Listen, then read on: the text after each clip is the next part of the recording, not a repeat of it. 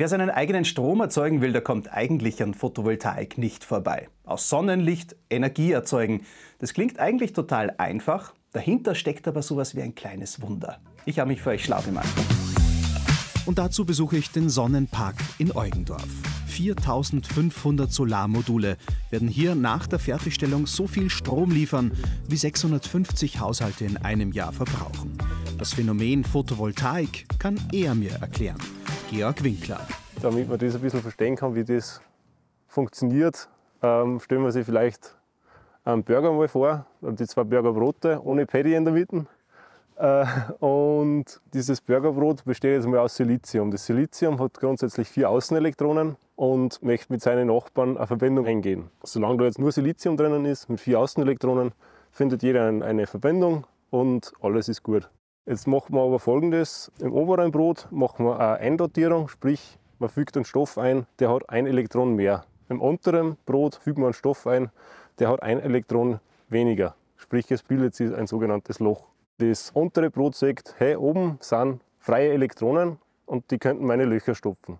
Das passiert aber nur so lange, solange das untere Brot und das obere Brot sägt sozusagen. Wenn die Grenzschicht dann dick genug ist, sprich es bildet sich dieses Burger Patty aus, ähm, wenn das dick genug ist, dann senkt die nicht mehr zueinander und es ist eine Schicht in der Mitte, wo wieder überall vier Elektronen sind und alle eine relativ stabile Verbindung haben. Und so sieht der fertige Solarburger aus. Das untere Brot ist negativ geladen, das obere positiv. Im Burger Patty in der Mitte, der sogenannten Grenzschicht, passiert bei Sonnenlicht der Zaubertrick. Und zwar bei den Bohratomen, die eigentlich je ein Elektron zu viel haben. Die Sonnenstrahlen treffen auf das Burger Patty. Jetzt erinnert sich das eine Atom, naja, so fest ist eigentlich meine Verbindung gar nicht, und es wird wieder ausgeschossen. Jetzt weiß das Elektron nicht so recht wohin, dann sagt es aber, heute oben ist äh, ein positiver Pol. Ich bin ein Elektron, ich bin negativ, ich möchte gern zu dem positiven Pol. Und so fangen jetzt diese Elektronen zum Wandern an. Verbindet man jetzt mit einer Leitung die obere Schicht mit der unteren, fließt Strom. Solange Sonne da ist, wandern die Elektronen immer im Kreis. Im Gegensatz zu unserem Solarburger sind die Solarzellen nur etwas mehr als doppelt so dick wie ein Haar. Ganz feine Leitungen führen die Energie von der Oberfläche weg. Diese Wafer, wie die Zellen in der Fachsprache heißen, werden zusammengelötet und zwischen Platten gepresst.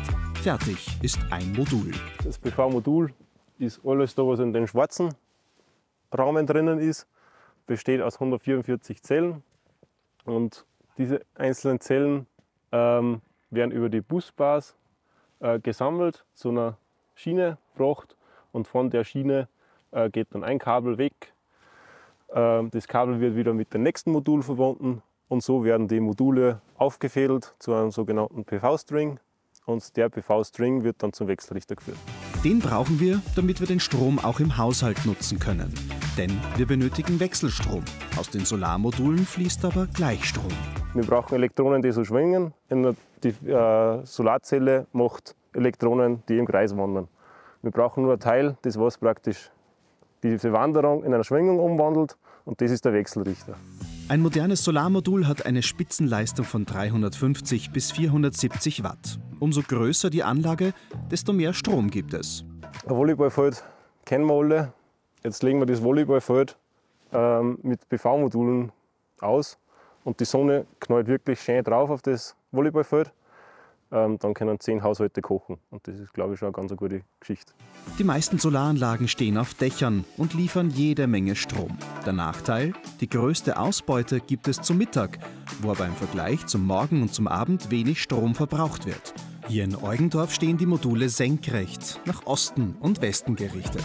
Bei den Modulen haben wir den coolen Effekt, dass die meiste Leistung eigentlich gleich in der Früh zur Verfügung steht und dann der zweite Peak am Abend kommt. Und zur Mittagszeit, wo wir eh in ganz Österreich nicht so viel Strom brauchen eigentlich, produzieren die ja gar nicht so viel. Die Zutaten für Sonnenenergie sind alle da. Sonne gibt es im Überfluss und auch Silizium gibt es wie Sand am Meer. Schließlich wird Silizium aus Sand gewonnen. Und die Anlagen werden immer besser. Aktuell haben wir Solarzellen am Markt, die einen Wirkungsgrad von bis zu 22 Prozent haben. Das ist schon sehr, sehr gut.